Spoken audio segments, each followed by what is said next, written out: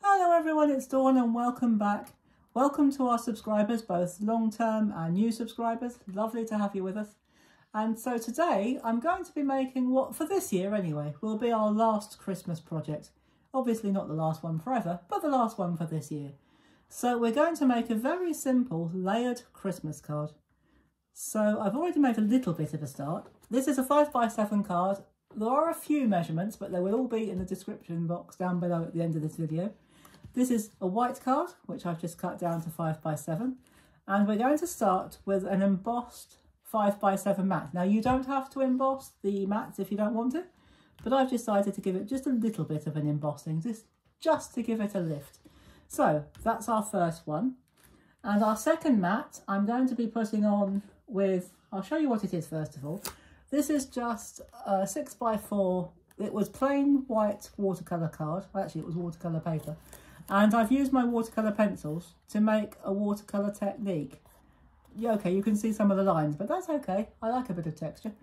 And I've put some foam tape on the back, and just so that this doesn't stick instantly, oops, that wasn't supposed to happen, but that's all right, I'll tell you what we'll do, we'll put that to one side and we'll use it as it is, that's no problem. This is just a bit of what's left of my glue stick, or one of my glue sticks.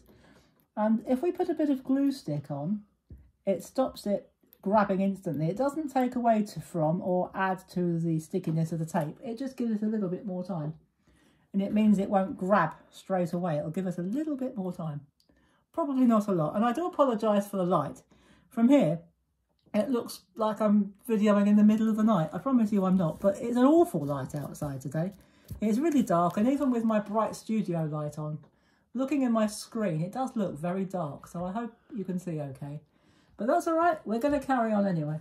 So I've got one more embossed mat and that measures three and a half by one and a half inches. And again, I'm just going to put a little bit of glue stick on the back of there just to give us a little bit more time. So I'm just going to pick that up and it doesn't matter which way it goes, it's not directional.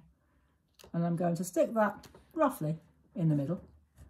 And I have one more mat for you, which is the sentiments mat. And that measures one by two and a half. And I'm not going to worry about, this has got foam pads on it rather than foam tape. I'm not going to worry about putting glue on it this time. I'm just going to pop that right in the middle like that. So we're not going to do any fuss today. There's not going to be any fancy stuff. The only thing I have got, if I can find it, oh, there it is.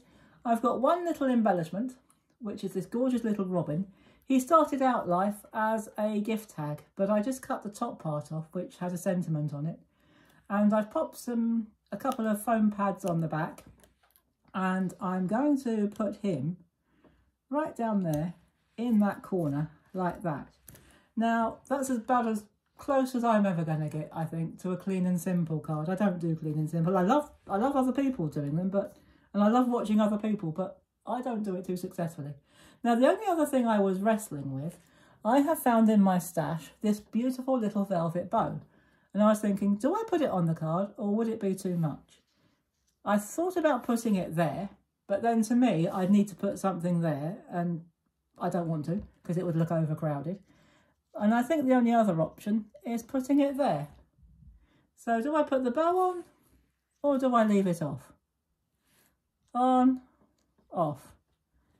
Um, well, as it's the final one, shall we put the bow on? I've got a strip of foam tape on the back here, or foam pad, I beg your pardon. You could use foam tape, or you could even use hot glue if you wanted to. So as it's the final one, bit of extravagance, why not? There we go. We're going to pop our bow down there like that. And there we go, guys. There is our final Christmas project for this year.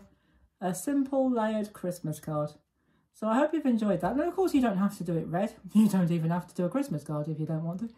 You can use this technique for any style of card, whether it's a birthday card, anniversary card, for a male, for a female, for any gender you like, and for any occasion you like. So I hope you've enjoyed this and found it helpful. And I'll probably be back just once more before Christmas so we'll see what I come up with for that. And I'll see you very soon. And in the meantime, stay safe everybody. Take care, have fun, and as always, happy crafting. Bye bye for now.